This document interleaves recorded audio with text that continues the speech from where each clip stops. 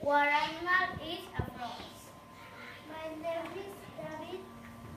It's um, Vivian. It's everyone. It's Vivian. It's vegetable and it's domestic. Hello, my name is Martina. Um, it can jump.